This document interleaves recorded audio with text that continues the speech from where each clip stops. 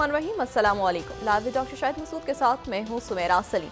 नासिर निगरान वजी अजम अनवर हक काकर साहब की हिदायत पर सानिया नौ मई से मुतल काबीना की कमेटी काम करती गई है जबकि जुल्फकार अली भुट्टो की फांसी से मुतलिक रेफरेंस आठ जनवरी को समात के लिए मुकर कर दिया गया है। पीपल्स पार्टी ने जुल्फकार अली भुट्टो की सजाए मौत पर सदारती रेफरेंस के मामले पर तहरीरी जवाब जमा करा दिया है जबकि सेनेट में इंतबात मुलतवी कराने की करारदाद मंजूर करने के खिलाफ सुप्रीम कोर्ट में आनी दरख्वास्त दायर कर दी गई है। इसके अलावा भी दीगर मौजूद पर आज हम गुफ्तु करेंगे। स्टूडियो में हमारे साथ मौजूद हैं डॉक्टर शाहिद मसूद। असल डॉक्टर साहब। डॉक्टर साहब सैनिट अरकान के खिलाफ सुप्रीम कोर्ट में दरख्वास्त दायर की गई है और इस दरख्वास्त में ये मौक़ इख्तियार किया गया है कि जो अरकान पार्लियामेंट थे उन्होंने ये करारदाद पेश की है। ये तोहन अदालत के जुमरे में आता है क्या कहेंगे?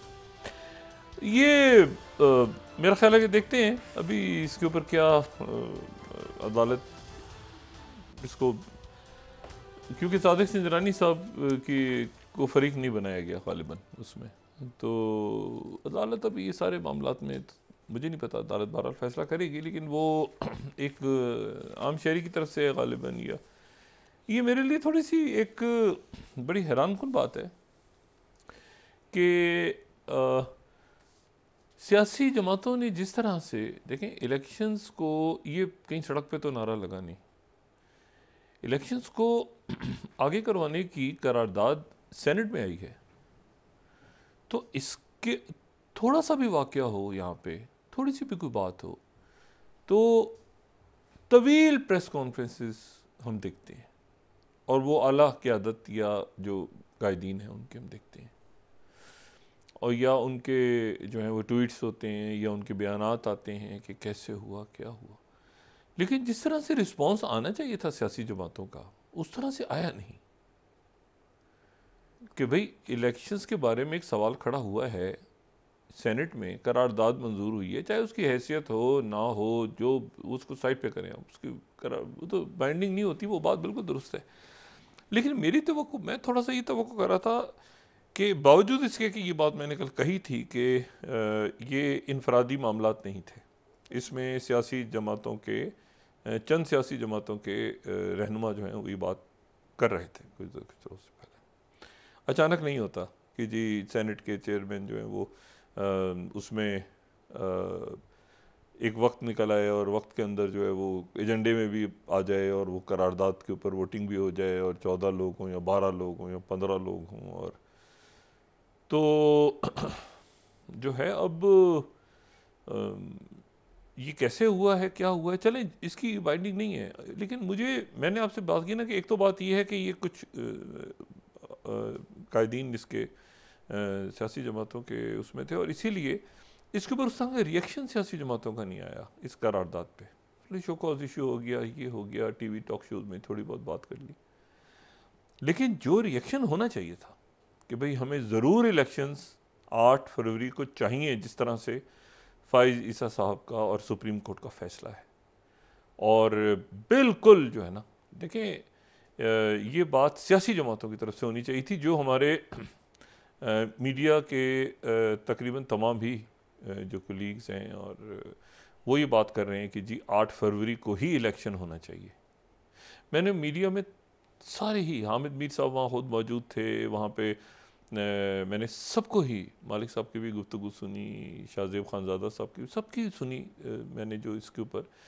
तो मुझे तो ये लगा कि सब ही इसके ऊपर ये कह रहे हैं कि भाई ये तो आठ फरवरी को इलेक्शन होना चाहिए, लेकिन सियासी जमातों का वो रिस्पॉन्स नहीं था क्यादतों का? जो होना चाहिए था जिस तरह से। अभी इशू का इशू हो गया, पंद्रह दिन का, बारह दिन का, ठीक है, लेकिन ये कुछ अजीब अजीब सा मामला हुआ है, जिसको इलेक्शन हम, की तरफ़ हमें जाना है, ठीक है, और जमहूरीत में ही हमारे जो मसाइल हैं, उनका हल है। और फ्री एंड फेयर इलेक्शन होना चाहिए। अच्छा बहुत सारे जो कागजात मुस्तरद हो गए थे। तहरीक इंसाफ के वो बहुत बहुत, तकरीबन बहुत बड़ी तादाद में मतलब जुल्फ़ी बुखारी साहब से लेके और यहाँ पे जदात गुल साहिबा का भी हो गया, बहुत सारे कागजात जो हैं वो दोबारा उनके, सबके ट्रिब्यूनल्स में जाके जो है वो अब सब वो इलेक्शन लड़ रहे हैं। बहुत सारी और शख्सियात, कुछ के अपीलें हैं, वो आगे दो चार दिनों में सारा क्लियर होगा। तो एक सख्ती तो है, नौ मई के हवाले से, नौ मई का जो वाक़ है, मैं ये पहले बात काफ़ी दफ़ा कह चुका हूँ, बहरहाल। मैं ये तोशा खाना भी अपनी जगह मौजूद है और ये तोशा खाना है और उसके साथ वो दूसरा जो साइफ़र वाला मामला चल रहा है और बाकी मामला चल रहे हैं। लेकिन नौ मई, मेरा पहले दिन से मौक़ है कि नौ मई सबसे जो है वो एक संगीन मामला होगा। तहरीक इंसाफ के लिए और वो उसी तरह से हो रहा है। बाकी अगर आप देखें तो मामला आपको थोड़े थोड़े पीछे जाते नज़र आ रहे हैं। चल रहे हैं अपनी जगह, लेकिन साइफर या बाकी चीज़ें। लेकिन 9 मई जो है, वो एक ऐसी चीज़ है जो कि काफ़ी मसाइल का सबब बनी है और उससे अब कैसे तहरीक इंसाफ की जो क़्यादत है? असल में क़्यादत से भी क्योंकि मुख्तलफ आपस में भी मामला यानी अब देखें ना, बानी चेयरमैन जो है वो तो अंदर हैं खान साहब। तो वो उनसे जो शख्सियत मिल के आती है तो वो शख्सियत एक अजीब सी बात करती है। हमने यहाँ गुजारिश की हुई है। देखें, आने वाले दिनों में शायद कुछ मीडिया की शख्सियात को मुलाकात का मौका मिले। तो हमें पता चले कि आगे किस शख्स की बात को किस तरह से लिया जाए। मतलब अभी तक तो बाहर जो लोग हैं, वो अपनी अपनी बात ही कर रहे हैं। लेकिन ये कि वो बहरहाल जो असल बात यह कि जो कैंडिडेट्स खड़े हुए थे, वो कैंडिडेट्स खड़े हैं और वो वो हैं जो कि जिनको सब जानते हैं। ठीक है? जिन, जिनके मुस्तरद हो गए पेपर्स उनके मुस्तरद हो गए। लेकिन एक बहुत बड़ी तादाद में तहरीक इंसाफ के लोग खड़े हैं। और अब और एक जो रायामा है मजमू तौर पर वो अभी भी उसमें बहुत बड़े, बड़ी तादाद में जो सर्वेज़ हैं, मुस्लिम लीग नून भी ज़ाहिर उनके वोटर्स भी हैं पीपल्स पार्टी के भी हैं, सब कुछ हैं। लेकिन ये कि पंजाब में या बाकी जगहों पे अगर खामोश वोटर निकला है बड़ी तादाद में तो तहरीक इंसाफ को वोट डाल देगा। ये एक मुख्तलिफ़ सर्विस में ये बात हो रही है। ठीक है ना? अच्छा तो लेकिन आप देखते हैं कि ये किस तरह से आने वाले दिनों में इलेक्शंस की तरफ़ किस तरह बढ़ते हैं? आज बड़ा ज़बरदस्त अभी फैसला है सुप्रीम कोर्ट का। ये लापता अफराद के हवाले से। इसके हवाले से जो है ना एक तो देखिए, दो इसमें हैं फैक्टर्स एक तो वो वहाँ पर है ना, जो वाक़ात हुए, जो बलूचिस्तान में चल रही है बात और उसमें वहाँ पर वो, ये असल इशू है जो इस्लामाबाद में जो जिस तरह से हैंडल हुआ है ना, वो उस तरह से नहीं होना चाहिए था। असल सवाल ये है, उनको, उनके साथ आप जब तक डायलॉग में नहीं जाते ना, बात नहीं करते, वो बिल्कुल अब वो मतलब है कि अजब अंदाज में यहाँ पे उनको ट्रीट किया गया और अभी भी शायद उनकी तो बात यह है कि एक मतलब मुजाकर तो होंगे ना उनसे बात तो होगी। और उसमें फिर बताया जाएगा कि भाई ये क्या हुआ कैसे हुआ क्या हुआ। तो वो ये वो चीज़ें मेरे ख्याल से जो कि ठीक है ये ठीक होगा। इतना कि इतने कोई मेरे ख्याल के कोई ऐसे इश्यूज़ हैं जो जिनको रियासत ना संभाल सके अगर चाहें करना हमारे लोग तो वो उसको ठीक कर सकते हैं सारे मामला को। अच्छा मैं ये बात बार बार कह रहा हूँ कि जो आ, आ, ख़त्े के हालात हैं ख़त्े के हालात और वाक़ात हैं, वो इतने इतने गैर यकीनी के हैं कि उन गैर यकीनी के हालात में मतलब पक मतलब किसी, कहीं कुछ नहीं पता कि जी क्या होगा आगे, आने वाले दिनों में। चारों तरफ़ आपको जो है ना, एक जैसे अलाव होता है ना, आग का, वो भड़कता हुआ नज़र आ रहा है। और ये जो पाकिस्तान के अंदर मैन मेड क्राइसिस या अदम इसकाम हमने पैदा किया हुआ है, इसकी क्या वजह है ये मैं नहीं जानता। अब इसमें जो है ये जो कल, सबसे पहले कल से हम स्टार्ट करते हैं ना, या अभी, आज और कल को हम डिस्कस कर लेते हैं।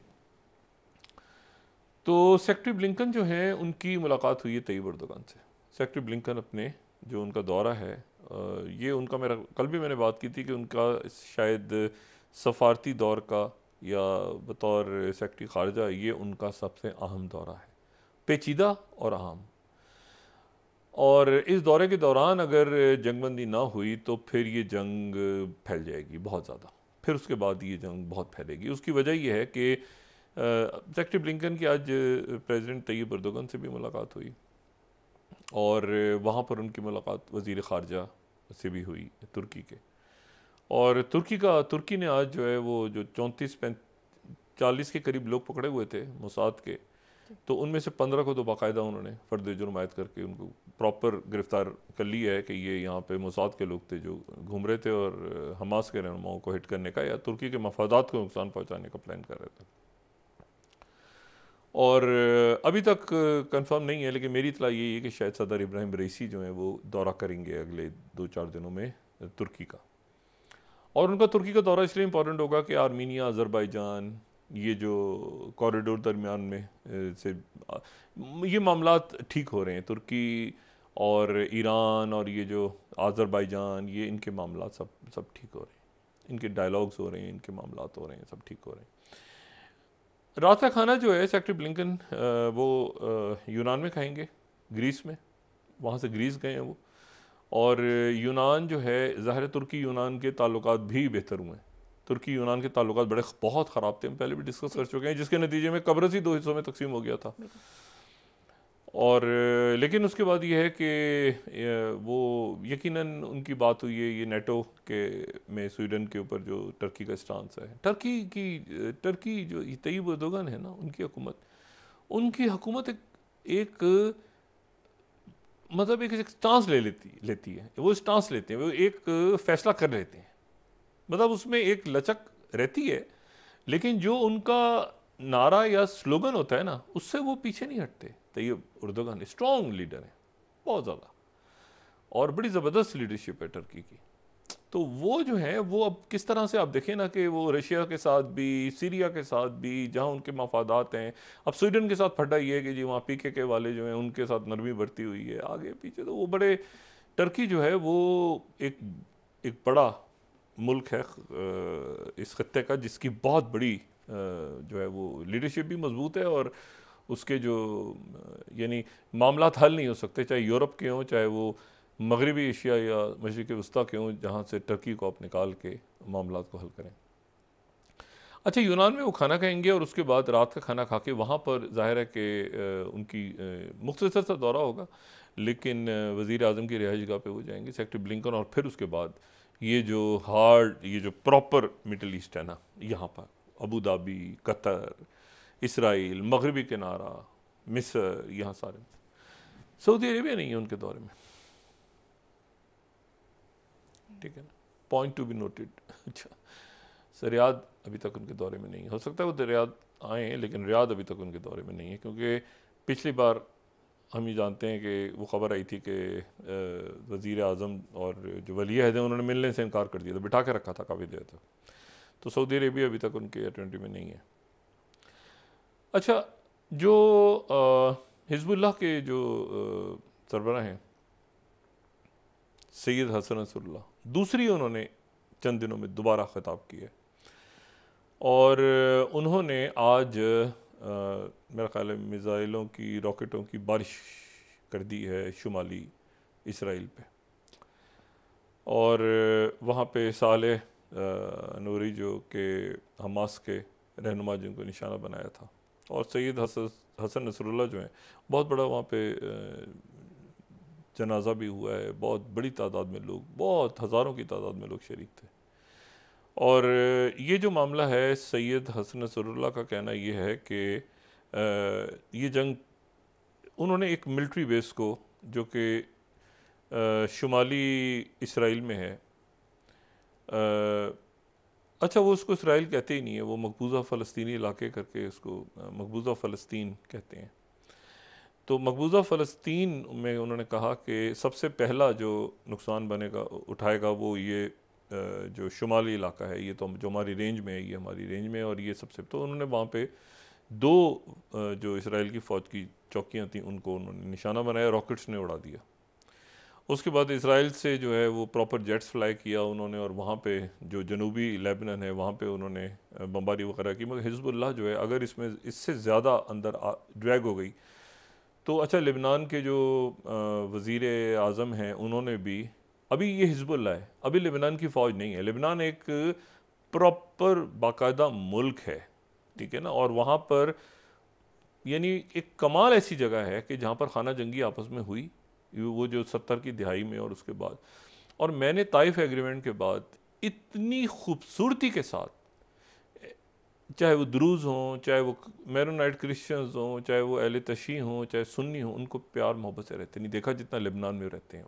तो आप कुछ कर दें, वहाँ कभी इस तरह का फसाद नहीं होगा।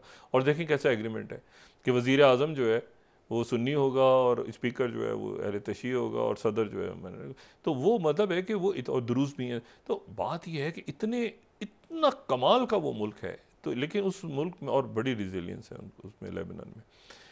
तो वो जो है, वो उन्होंने, अगर वो इसमें ड्रैग हो गया, उन्होंने दोबारा सैद हसन नसरुल्ला ने आज, यानी दोबारा उनकी दो स्पीचेज हुई हैं, एक पहले हुई थी और एक उनकी जो है पिछले चौबीस घंटों में हुई है। और उन्होंने कहा कि ये अगर हम इसको ना रोका गया, और अब सेक्रेटरी ब्लिंकन के ऊपर है कि वो सेक्रेटरी ब्लिंकन इसको कैसे रोकते हैं, क्योंकि वो जो हॉस्टिन वहाँ पहुँचे हुए थे और बाकी लोग पहुँचे हुए थे, वो वो अपनी जगह, वो डिप्लोमेसी अपनी जगह, लेकिन जब इसराइल पे इसराइल ने हमला किया है लेबनन पे तो हसन नसरुल्ला उसका जवाब देंगे। अच्छा फिर उसके बाद जो है वो ये है कि इसी दौरान अब जो नतन याहू हैं, वो एक दबाव में आ गए हैं क्योंकि अंदर काबीना के अंदर फटा पड़ा हुआ है। और जो उनके जो गान्स हैं, वो फ़ौज के साथ खड़े हो गए हैं, वो नतन याहू को कोस रहे हैं कि तुमने फ़ौज के सरबराह पे इल्ज़ाम लगा दिया है और हम तो ऐसे, वैसे, फ़लाना। और गैलेंट जो है वो, गैलेंट प्लान लेकर सामने आ गए हैं, जो कि जिसके ऊपर, असल में जिसका खाका जो है, वो तैयार हुआ है ज़ाहिर है कि वाशिंगटन और बाकी मुल्कों से ही तैयार हुआ है। वो ये ऐसे ही नहीं आ गए, गैलेंट खड़े होकर उन्होंने एक गज़ा का प्लान पेश कर दिया है। सादिक सिंजरानी की करारदाद की तरह ऐसे नहीं हुआ। वो पूरा उस पर डिस्कशन हुआ है और जिसमें बहुत बड़ी बहुत बड़ी बातें हैं उसमें, ठीक है ना? पहली बात उसमें, यानी ये इसराइल की तरफ़ से एक प्लान पेश हुआ है। और प्लान क्या है?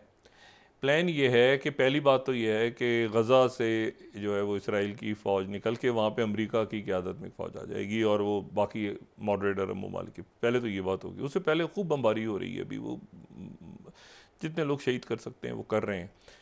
लेकिन यह है कि अब सेक्रेटरी ब्लिंकन की मौजूदगी में, क्योंकि सेक्रेटरी ब्लिंकन हो सकता है कि अभी सिक्योरिटी पर्पस की वजह से उन्होंने बताया, हो सकता है पहले इसराइल लैंड कर जाएँ, हो सकता है पहले वो कतर आएँ या इजिप्ट कर जाएँ, लेकिन बहरहाल देखना है कि वो पहले जहाँ जाएँगे तो फिर वो जंगबंदी हो जाएगी फ़ौरन।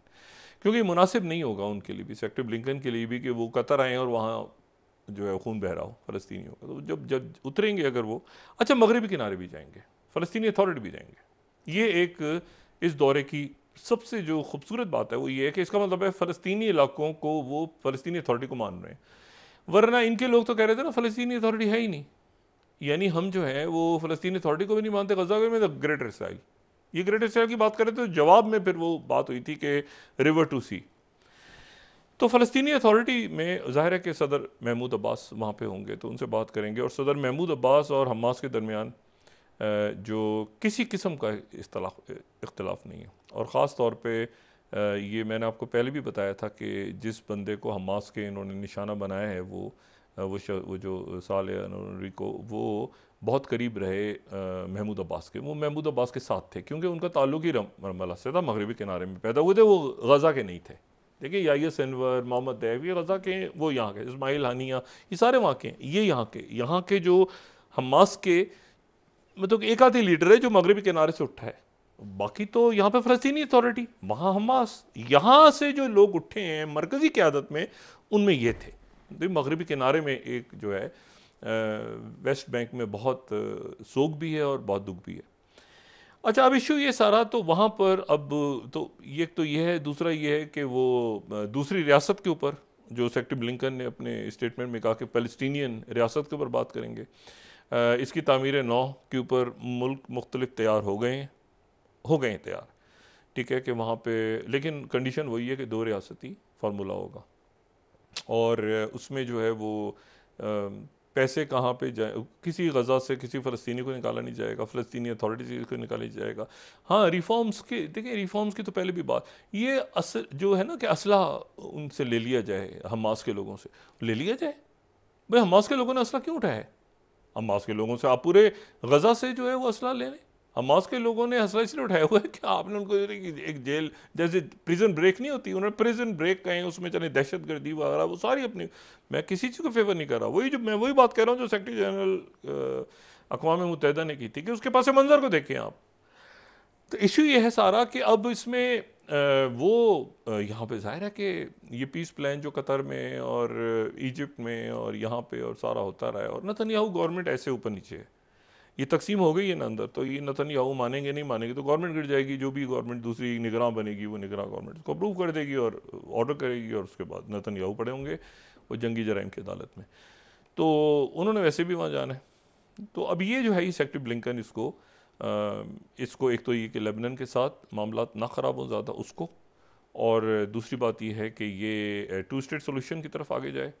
और उसके बाद ये है कि इसमें ज़ाहिर है कि अरब ममालिक हैं, मुसलमान ममालिक ओ आई सी है, यूरोप है जोसेफ बॉरल जो हैं। अच्छा अब सेक्रेटरी ब्लिंकन ही सऊदी अरब आ रहा है, लेकिन ई यू के जो फॉरेन पॉलिसी के जो हेड हैं जोसेफ बॉरल वो कल रियाद पहुँच रहे हैं। वो आज बैरूत में थे, और उन्होंने प्रेस कॉन्फ्रेंस की है, नजीब मालिकी के साथ वज़ी अजम के साथ। उसमें उन्होंने कहा है कि ये मामला बहुत ख़राब हो रहे हैं और हाथ से निकल रहे हैं, ठीक है ना? और ये, इसको बर करम दुनिया, यूरोप, अमेरिका, सब इसको, अरब ममालिक, गैर अरब ममालिक, सब इसको देखें कि भाई ये मामला ख़राब हो रहे हैं। और कल वो रियाद आ रहे हैं तो उनकी रियाद में, कल वो रियाद में होंगे सेक्रेटरी खारजा, अमेरिकन सेक्रेटरी खारजा जो है, बरतानिया का रोल इसमें जो है ना, बरतानिया और यूरोप का रोल इसमें बहुत बहुत अच्छा रहा है। बहुत अच्छा रहा है। वहाँ डेविड कैमरॉन जब से आए हैं तो डेविड कैमरॉन ने बहुत कोशिश की। सेक्रेटरी ब्लिंकन को तो ज़ाहिर है कि वहाँ पे एक सूरत ऐसी अमेरिका में बनी हुई है कि वो उस पर लेकिन अब ये कि बहुत लाइबिलिटी हो गई ना, अब लाइबिलिटी हो गई है, मेरा ख्याल है कि अब इसराइल की क्या वहाँ पे एक ट्रबल मेकर एक है उसकी वजह से। तो उसको देख लें जहाँ तक उसको पैसे भी करप्शन ये, वो, सारा मामला तो संभालना मुश्किल हो रहा है। ये इसराइल तो बरतानिया, ये भी तो पुराने ऑर्डर की एक छोड़ी हुई एक जगह है ना, ये भी तो पुराना जो ऑर्डर 1945 का ऑर्डर बना था, पुराना ऑर्डर जो टूट रहा है पूरी दुनिया में, उस दुनिया की एक छोड़ी हुई निशानी है ना, जो कि इसराइल के नाम से तो देख लें उसको, जो भी जैसे भी करना है उसको उसको संभालें उन लोगों को। तो अब नया ऑर्डर नया ऑर्डर दुनिया में, नया जन्म ले रहा है तो उसमें ये क्या बरतानिया के दौर के छोड़े हुए तमाशे जो हैं यहाँ पे उनको, कब तक पालेंगे? बहरहाल वो टू स्टेट सोल्यूशन और ये सारा मामला। और इसी दौरान जो है वो तो एक तो लेबनन के साथ एक्सलेशन नहीं होनी चाहिए। वो सीज़ फायर होना चाहिए। और सीज़ फायर के बाद एड फ़ौरन जाएगी अंदर। और फिर उसके बाद इंतज़ाम जो है वो इसराइल की फ़ौज नहीं संभालेगी, वो विड्रॉ करेगी और जो वहाँ पे अब मेरा ख्याल अपना ये है कि अकवा मुतहदा की फ़ौज को जाना चाहिए। उसमें देखें, मैं आपको बताऊँ, उसमें यूरोप की फ़ौज भी होगी ना तो फ़लस्तनी खुश होंगे। यानी वहाँ पर ये डॉक्टर्स आप देख रहे थे? ये जो अमेरिका के डॉक्टर्स और ये जो यूनाइटेड नेशंस के से ताल्लुक़ रखने वाले और जो यूरोप के और सारे दुनिया भर के जो लोग वहाँ पहुँचे हुए थे तो वो सारे वो सब जो हैं वो आ, उनका दिल नहीं चाह रहा था वहाँ छोड़ के आने को हॉस्पिटल्स को या मीडिया के लोगों को या जो एड वर्कर्स हैं सारे।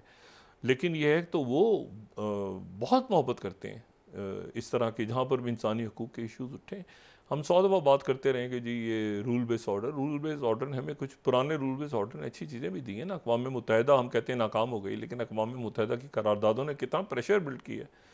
देखें ना, पे दर पे पे दर पे यूनाइटेड अरब एमिरेट्स की रेजोल्यूशन आ रही है। बार बार बार बार उधर कोई सख्त बात कर रहा है, कोई नरम बात कर रहा है, कोई डिप्लोमेसी में कर रहा है, कोई ये तो बहुत इसमें जो है ना, इसको रोकने की पूरी कोशिश हुई और रुकने में देर हुई, लेकिन ऐसी जगह हुई कि अमेरिका फिर आ गया। कि जी टू स्टेट सोल्यूशन ठीक है टू स्टेट और ये फार्मूला कि जी वहाँ पे आप उनको आज़ादी दे दें फ़लस्तनी रियासत का ऐलान करें तो क्यों असला उठाएँगे? वो अपनी फ़ौज बना के अपनी सिक्योरिटी करेंगे। वो अपनी फ़ौज बनाएँगे फ़ौज में लोग नौजवान भर्ती करेंगे अपने मुल्क को सिक्योर करेंगे उनके पास गैस है उनके वसाइल हैं सब कुछ है। तो ये है कि ये मसला जो है इसको रिजॉल्व करके जाएँगे वरना ये मामला ख़राब हो जाएगा। और ये मामला इसलिए ख़राब हो जाएगा देखें ये अभी तो जो इनके इंडिया का जो नेवल जो नेवी गई थी, उन्होंने वो छुड़ा दी छुड़ा लिया। उनके मुसाफिरों को छुड़ा लिया, बचा के लिया है ठीक है? वो एम वी लीला जो यहाँ से मार्कोस उतरे मार्कोस इनके मेरीन कमांडोज हैं। मेरीन कमांडोज गए वहाँ से, छुड़ा के लिए पंद्रह मेरे ख्याल से उसमें इंडिया के बाशिंदे थे और इक्कीस टोटल लोग थे। लेकिन ये बात कितनी अजब है कि अभी तक सोमाली कजाक भी एक्टिव है। अच्छा ये बड़ी, ये मेरे लिए जो है ना, क्योंकि वहाँ इतनी इतनी ये तो एक तो ये है ना जो आपका यहाँ पे ये जो इतिहाद घूमता रहता है, ये जो, ये मेरी टाइम सिक्योरिटी और ये सारा, ठीक है ना? पाकिस्तान भी उसका मेंबर है, अमेरिका भी है, तुर्की भी है, सऊदी अरेबिया भी है, इंडिया भी, सारे हैं, ये सारे जहाज़ यहाँ समुद्र में घूमते रहते हैं और ये यहाँ से सप्लाई मैं ये समझने कासिर हूँ कि ये ये सारा मामला, ये जो हॉर्न ऑफ़ अफ्रीका है, उस पर तो मिलिट्री बेसिस है। भाई वहाँ तो मिलिट्री बेसिस है, वहाँ तो जो है अमेरिका की मिलिट्री बेस भी है फ्रांस की भी है चाइना की भी है, वहाँ तो अरब ममालिक की भी है, वहाँ तो बहुत सारी मिलिट्री बेसिस हैं। वो जगह पूरी हॉर्न ऑफ़ अफ्रीका को अगर देखें, जो हम बार बार दिखाते हैं उसका नक्शा और जबूती और ये सारे इलाके, वहाँ तो सबसे ज़्यादा उसकी तो वहाँ तो बहुत ज़्यादा मिलिट्री बेसिस हैं। तो मिलिट्री बेसिस बेसिस पे जो फौज है वहाँ पे तो वो उस उस फौज वहाँ पे मिलिट्री बेसिस ये क्यों बने हुए हैं? ये सारे क्या क्या कर रहे हैं वहाँ बैठे हुए? अगर इन्हीं के दरमियान कहीं कजाक भी घूमते रहते हैं क्या? ये तो बड़ी अजीब सी बात है इनके आप छोड़ देना वो मेरी टाइम सिक्योरिटी वालों को। तो कजाक जो हैं, वो जहाज़ लेके जब वहाँ पहुँचे हैं तो वो मिलिट्री बेसिस वो क्या कह रहे हैं? हमारे थाने की हदूद नहीं है। वो क्या है? भाई वहाँ या तो होना कि कोई आप कहें अंधा कुआँ है। अंधा कुआँ नहीं है, वो तो मिलिट्री बेसिस है वहाँ पे। सोमाली लैंड और ये सबकी तो ये देखना होगा बहरहाल कि उन मिलिट्री बेसिस के अंदर से ये कूद कूद के कहाँ से बहरी कजाक निकल के आके जहाज़ ले गए हैं वहाँ पे। और जहाज़ किधर हैं? भाई, उनको वापस लाओ। जहाज़ों को तो वापस लाओ। अभी तो अच्छा ये इन्होंने बात जो इंडिया के उतरे लोग अपने लोगों को छुड़ा के लिए। जहाज़ वहीं के खड़ा हुआ है। और कजाक भाग गए। कजाक नहीं पकड़े गए। ना कोई मुकाबला भी नहीं हुआ। कजाक उन्होंने देखा ही जहाज़ आ रहा है। हजबी मामूल जहाज़ खड़ा किया, भागे, और उसके बाद वो अपने बंदों को छुड़ा के ले आए। तो मुकाबला, कोई गोलियाँ नीचे नहीं, कुछ नहीं हुआ। तो ये क्या क्या है ये? मतलब इसका कोई हल निकलना चाहिए ना? मतलब वहाँ मिलिट्री बेसिस किस लिए बनी हुई है इतनी सारी? दुनिया लड़ रही है मिलिट्री बेस हमें चाहिए वहाँ पे। अच्छा दूसरी जो तो ये मेरी टाइम की जो ग्लोबल सप्लाई चेन है, इसको मेंटेन रखना बड़ा ज़रूरी है कि अब इसके लिए क्या आगे फार्मूला बनता है और कैसे होता है। लेकिन ये मामला चूँकि, लेकिन मैंने आपसे वही कल कहा ना कि इसमें, अब आप ये देखें कि इराक, अमेरिका से कह रहा है। अमेरिका पूछ कर आया था इराक में। सद्दाम हुसैन पे जब अटैक हुआ था लेकिन इराक के वज़ी अजम ने कहा कि आप यहाँ से जाइए, अपने अड्डे खाली करें, जल्द से जल्द। तो अब अमेरिका ख़ुद भी शायद वहाँ से जाना चाह रहा है क्योंकि बहुत क्योंकि अब वहाँ पर कोई है नहीं ना, ऑयल वगैरह अमेरिका के पास अपना आ गया है, ठीक है, अब वो, उनको ज़रूरत नहीं है।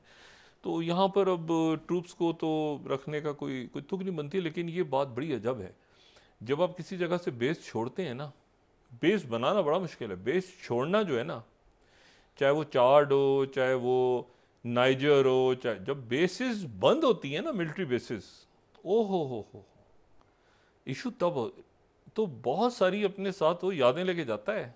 इराक से इराक से मिलिट्री बेस का बंद होना जो है ना, अफ़गानिस्तान में तो बहुत सारी बहुत सारी यादें अपनी लेके जाता है कि इराक के वज़ीर आज़म ने कहा था कि आप जाइए।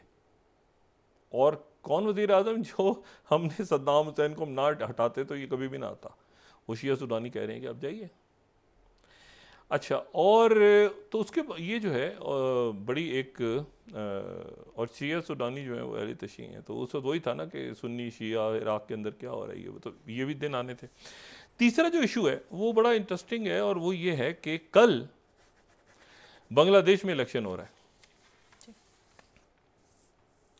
और खून इलेक्शन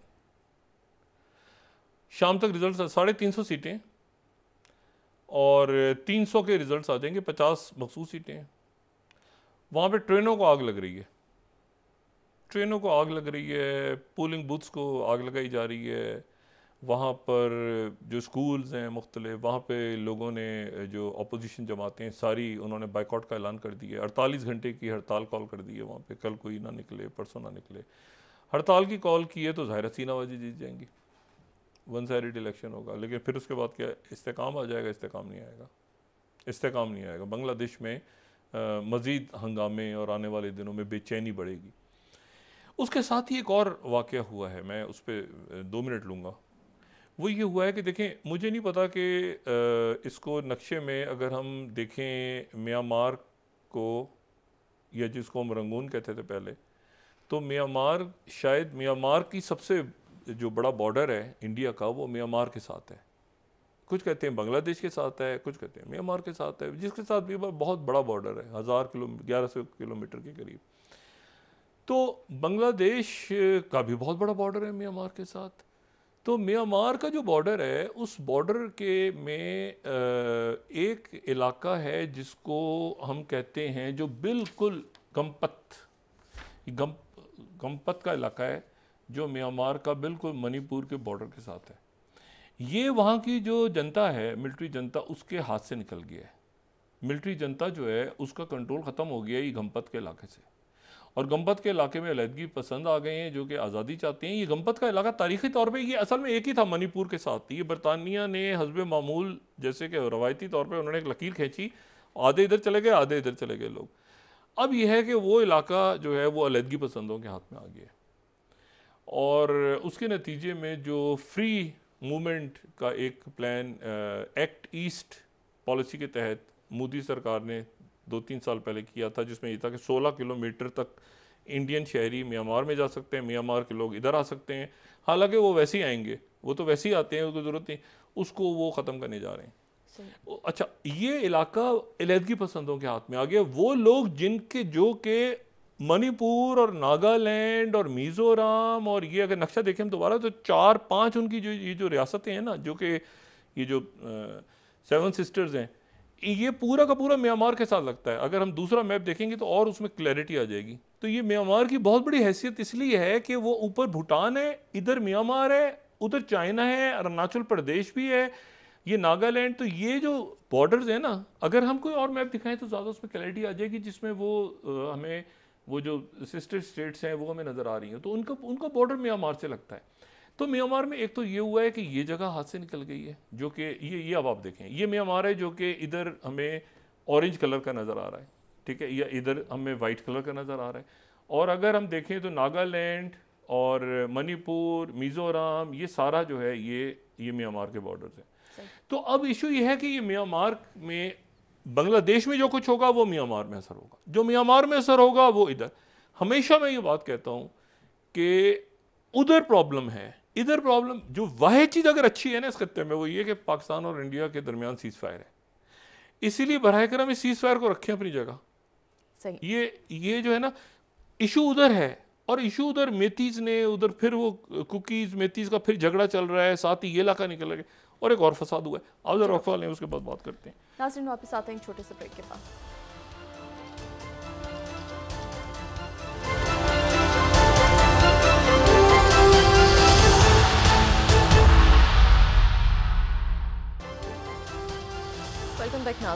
डॉक्टर साहब, ये जंग बंदी के इम्कान हैं क्या?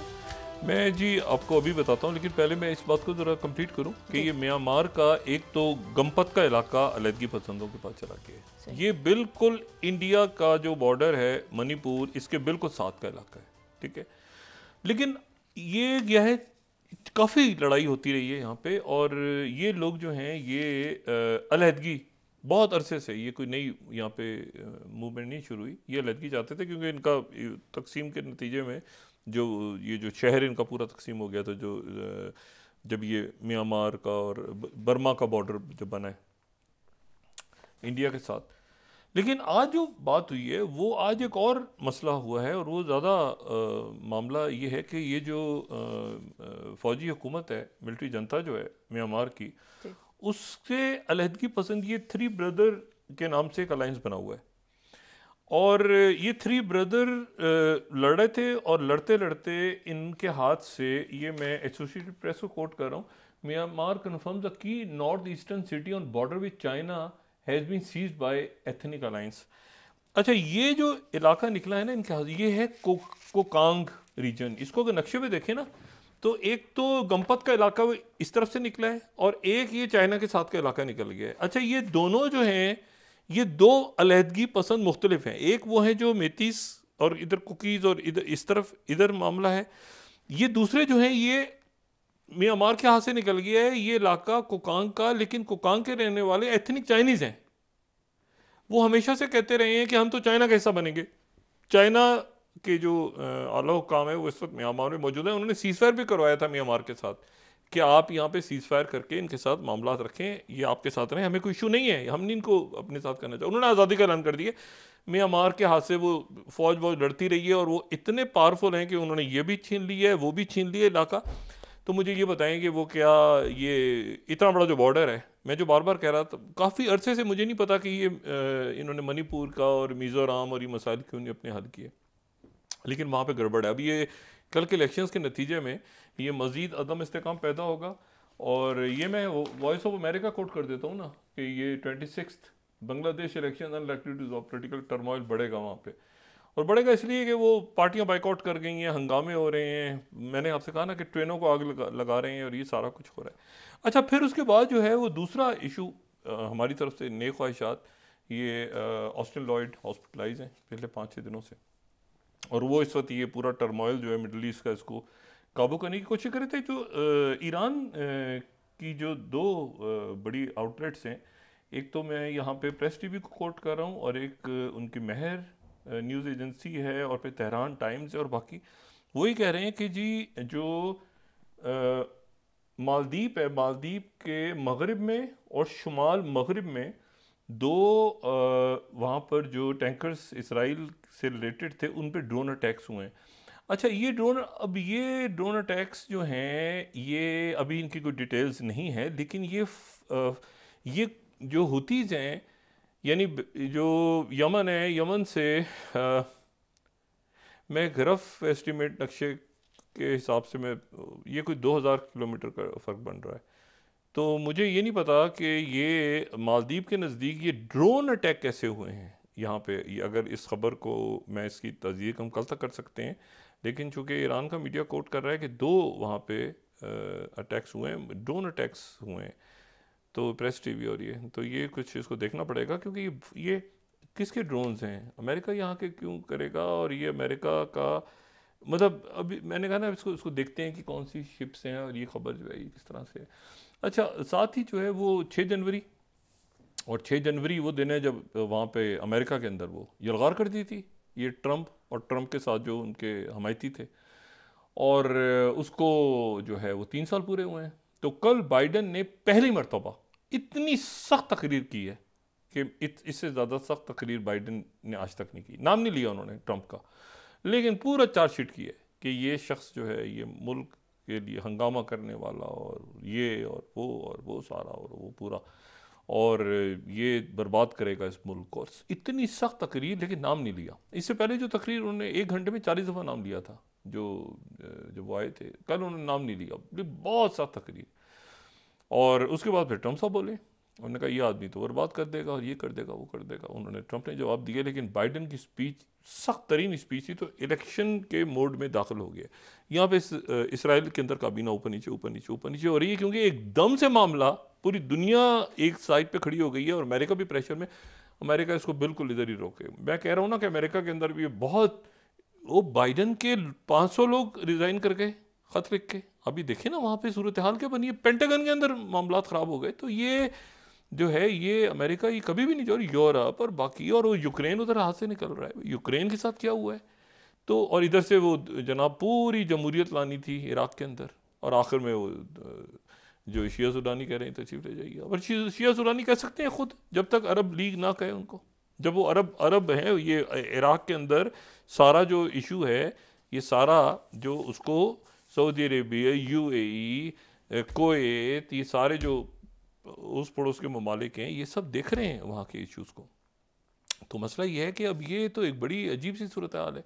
तो इस सूरत हाल के अंदर जो है वो अमेरिका कभी भी मेरा नहीं ख्याल कि इस वक्त इसको एक्सलेट करेगा। डी एस्केलेशन की ज़रूरत है।